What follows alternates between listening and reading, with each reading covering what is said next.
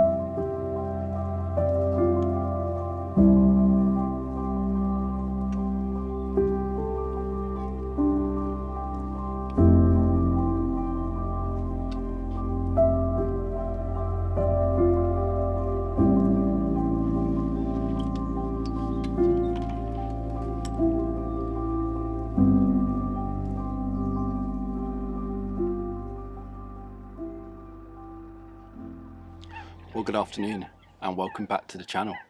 So in today's video, I've come up to the Somerset Levels, which actually isn't really that far away from my house. It only took me about an hour to get here. So it's pretty bad that I've not been here before because it is absolutely beautiful. So I've come up here because um, at this time of year, you get the starlings murmurating. And this is a spectacle that I've wanted to see for a long, long time. And I've seen them obviously small murmurations when I'm driving up the motorway or something, but I've never actually been to witness like a grand murmuration. And this apparently, this RSPB reserve up here at Ham Wall, um, apparently this is one of the best places in the UK to see the starlings murmurate. So um, I'm really excited about this one. I've got a few hours to kind of burn before the starlings are likely to, um, to kind of play ball. But that's all right with me, to be honest, because there's so many other things to kind of look at. Um, I don't know about photography at the minute because the light's pretty harsh. Um, it's a lot of like contrast, shadows. In fact, I might you might be able to see shadows on my face at the moment.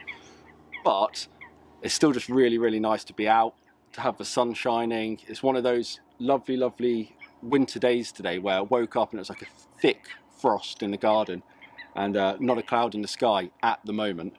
So um, I'm feeling really confident about it. So just behind me, you can probably hear, we've got loads of different birds. I don't know what they all are. If I'm perfectly honest, I'll have to go home and um, get the book out. But we've got loads of ducks, coots. There's a grebe that's just like um, diving around in front of me. So I still got about two hours before it gets towards like dusk time. So I'm just gonna chill here, I think, for a bit. Probably just film some of these birds and uh, see how we get on.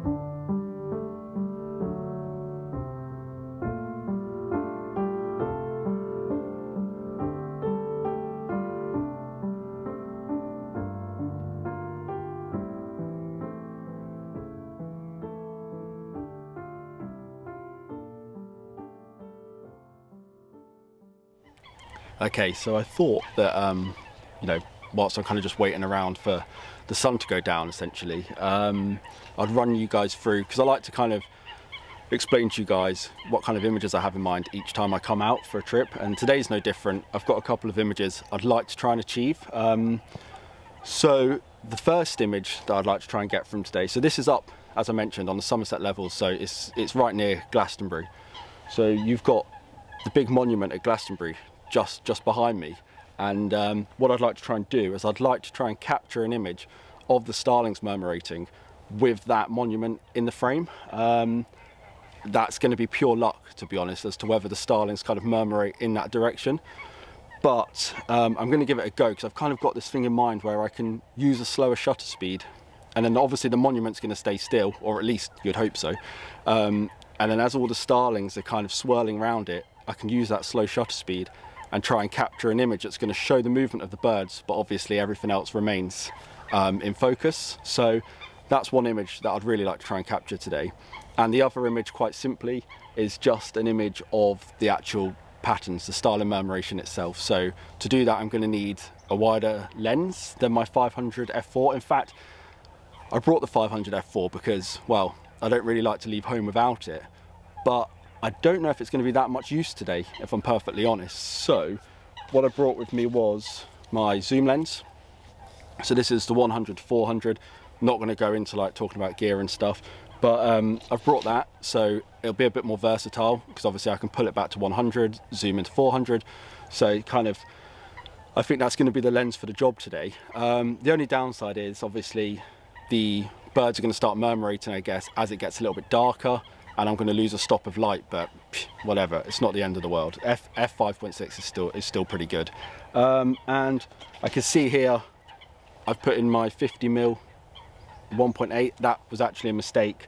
That was supposed to be my wide angle lens. Um, so to get the wide shot, I'm going to have to use this lens that I'm talking to you on now, uh, which is a 15 to 45 mil lens and that sits on my vlogging camera. So I can't put that on my 1DX um, so I will have to take any wide images with the vlogging camera which again isn't the end of the world to be honest. It's, it's a great little camera. So yeah they're the two images I've got in mind. One on a slow shutter speed showing kind of movement in the birds and one showing some of the patterns with hopefully based on the way the sky's looking now some really nice colors but this is so peaceful. Honestly all of the uh, reeds just look so golden We've got some nice backlight. I think I'm going to move though because I can just see everybody walking past me and I'm not going to follow the crowd. I, I don't enjoy doing that at all. I'd rather see less starlings and be kind of around less people. It's not that I don't like people, it's just that especially when I'm talking to you guys, I still get a little bit nervous when there's loads of people around as well. But also, I quite like to just enjoy those kind of moments to myself. Um, so yeah, I can see kind of everyone walking up the ridge to the right hand side of me so I'm probably gonna head up that way but I don't know. Sun's still still not gone down so we've got plenty of time.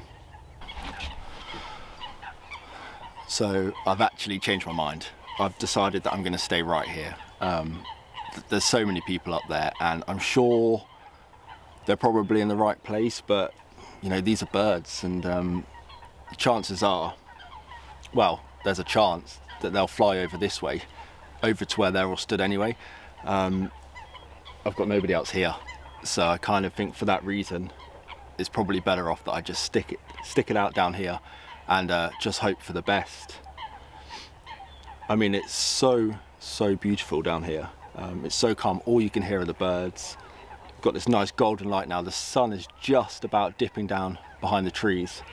So hopefully in the next 15-20 minutes we might start seeing some starlings grouping together I'm gonna change my um, lens now, um, put on the zoom lens, kind of get myself ready, um, and just keep watching these birds. I've been trying to get some images, but um, I'm shooting from quite a high up point here, so there was one point where I managed to like lie down, just down there a little bit, and um, get a couple of images of a grebe, but I don't think the images are going to come to much. So um, yeah, rather than just taking loads and loads of images and having to sort through them when I get home, um, I've just enjoyed it instead. Got a little bit of footage for you guys, but I've kind of put the images to the back of my mind until the starlings come out.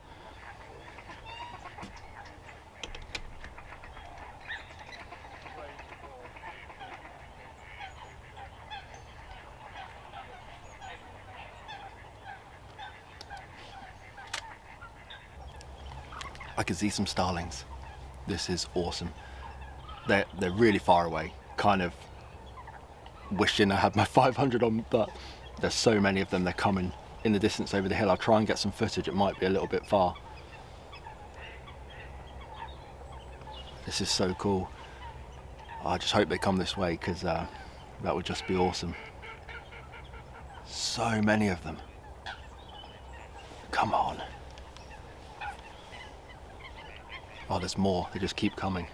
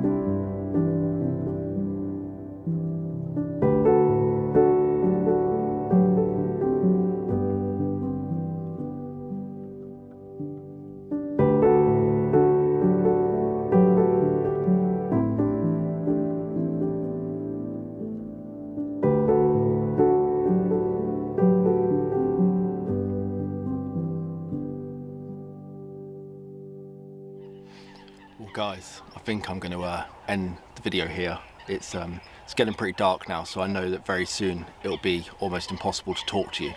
Um, I'm going to stick around for another like 10-15 minutes, but this has just been awesome. Definitely, definitely worth waiting around.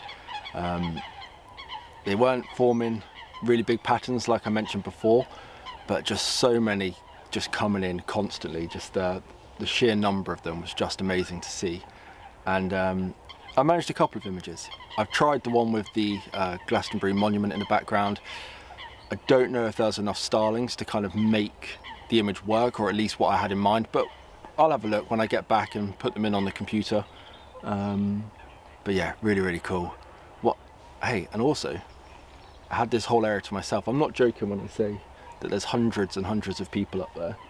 And uh, I had this to myself. They're probably in a better spot to be honest. They've probably got um, starlings murmurating and roosting nearer to them. Oh, there's so many of them. I'm to stop talking. But look, I hope you enjoyed the video. And um, if you did, give it a thumbs up. Uh, let me know in the comments actually what your kind of favourite wildlife spectacle is. You know, whether it's the, the red deer rut or um, whether it's something like the starling murmuration. Let me know because I'll be really, really interested to hear what you guys say. Um, but yeah, I'm going to leave it there, but I'll see you all on the next one.